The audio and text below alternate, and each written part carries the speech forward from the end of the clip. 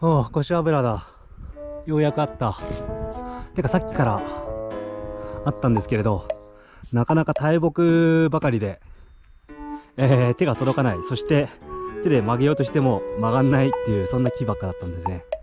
ようやくね、えー、木を曲げて取れそうな腰油発見しました。よかった。えー、っとね、この先の方の大きいやつだけね、いただいて、小さいのはね、えー、残していこうと思います。よかった。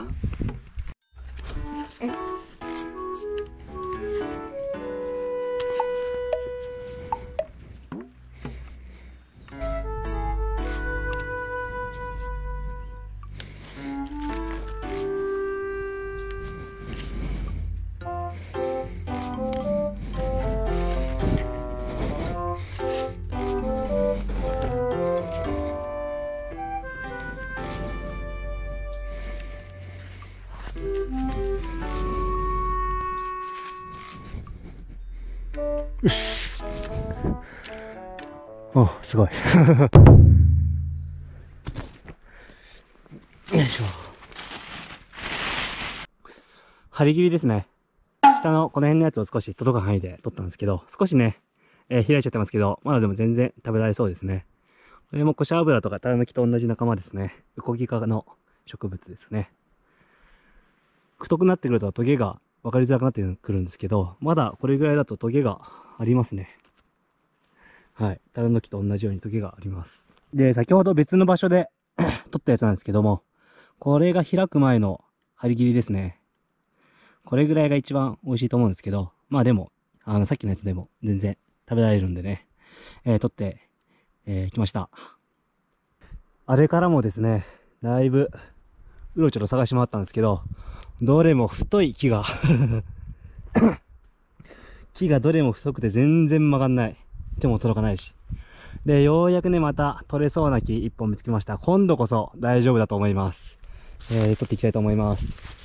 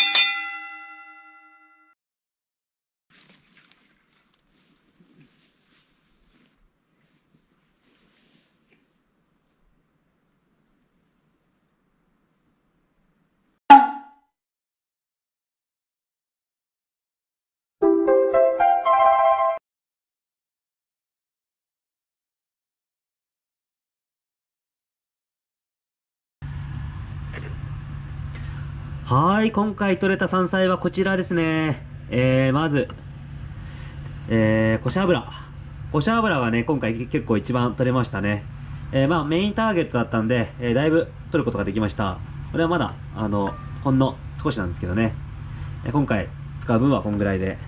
あとはね、あのー、こし油ご飯とか、他の調理法で、えー、食べたいと思います。そちらはね、動画にしないと思いますけど、今回はね、えー、天ぷらということで、えー、あと残り2種類、えー、用意しました。まあ、タラの芽は、あの、これだけしか取れなかったんですけど、あと、針切り。針切りもね、まあ、これとあともう少し取れましたけどね、えー、ちょっと天ぷらに良さそうな、本当に美味しそうなやつをね、えー、使いたいと思います。それでは、油を用意しました。で、これから熱して、えー、天ぷらにしていきたいと思うんですけど、油熱してる最中にですね、えー、天ぷら粉の用意をしたいと思います。はい、えー、そうしたらですね、えこの油をね、温めてる最中に、天ぷら粉を作っていきたいと思います。で、天ぷら粉を今回作るのはですね、もう簡単に済ましちゃいます。こいつで。えコツのいらない天ぷら粉。揚げ上手って書いてますね。はい。こいつをね、え、使って、え、天ぷら粉、コツがいらないらしいんでね、えー、めんどくさがりな僕でも、あの、簡単に、えー、美味しい天ぷらが上がるような天ぷら粉をね、えー、作ることが、えー、できるでしょうということで、こいつを使っていきたいと思います。で、もうね、名前の通りコツはいらないんでね、ガーッともう適当に、こんなもんかな。ガーッともう入れちゃいます。はい。もう適当です。えー、そしたら、水をですね、水になってるかな。お湯だとダメなんで水を使ってくださいね。水をバーッと入れて、こんな感じでね、えー、あとは、かき混ぜるだけです。で、いい感じのとろみ具合にすればいいんですけど、後の調整はですね、えー、まあ、粉を足したりとか水を足したりとかでやっていきます。ちょっとね、とろみが強すぎるんで、ねちゃねちゃしちゃってるんで、水を少し足します。こんなもんかな。で、いい感じのとろみになったら、えー、天ぷら粉の完成です。もう、コツがいらない天ぷら粉なんで、こんな感じでいいと思います。ちょっと硬いかな、まだ。はい。あ、入れすぎたかも。はい、そうしたら、えー、こちらの山菜、食材をですね、えー、まあ、まず、タラの芽からバンと入れて、で、衣をね、しっかりつけて揚げていくだけです。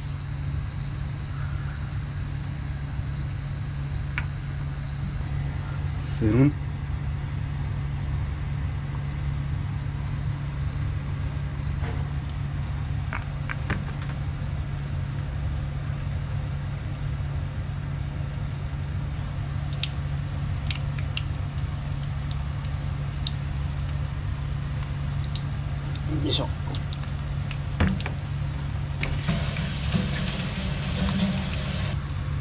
で衣が少しきつね色になってきたらですね、えー、揚げたいと思います。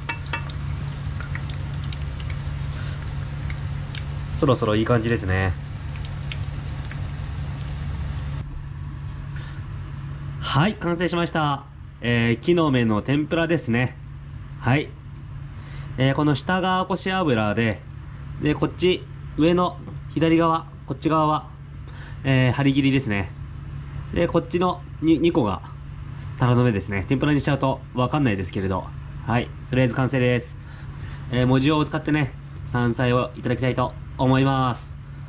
はい。それでは、食ってみましょうはい。えー、それではですね、えー、揚げ物といったらやっぱり、えー、ハイボールじゃないでしょうか。ハイボールをね、えー、飲みながらいただきたいと思います。では開けちゃいますいい音じゃあいただきます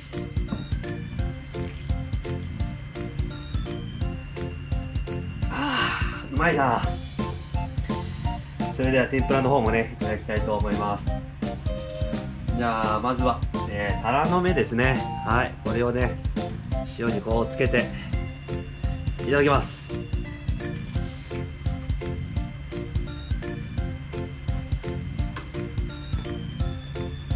うん。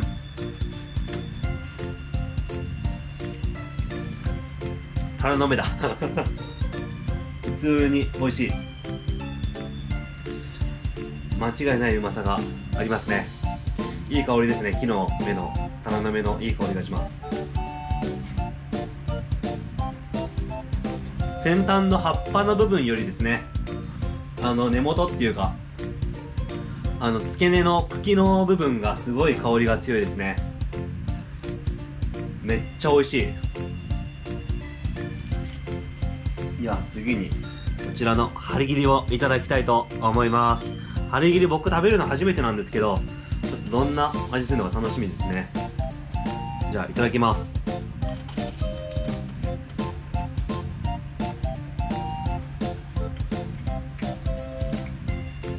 うん。あこれはうまい。タラの芽より若干香りが強いかな。じゃあ次はこし油ですね。小ぶりのやつからいただきたいと思います。こし油これがね一番のメインですよねやっぱり。じゃあいただきます。あすごい。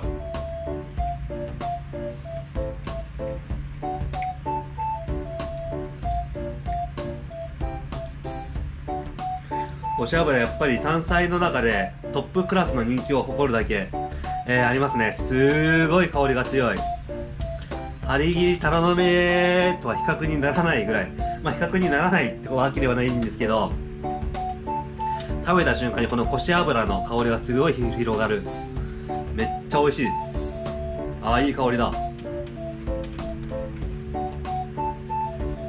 あやっぱこし油が一番うまい。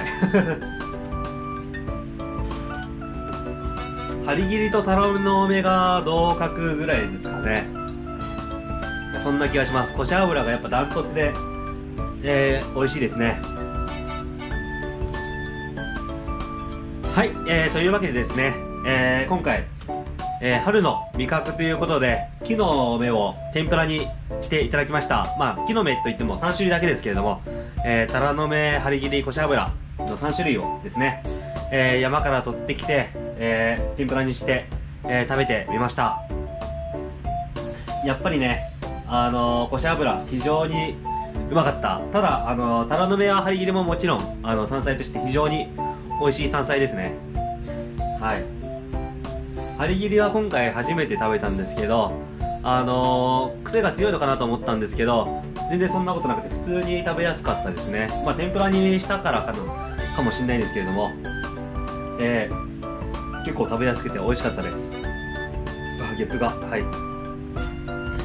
えー、というわけでですね、えー、まだ天ぷらは残ってますけれどもあとはね動画撮影した後にゆっくりね、え、ハイボールをいただきながらゆっくりね堪能したいと思います。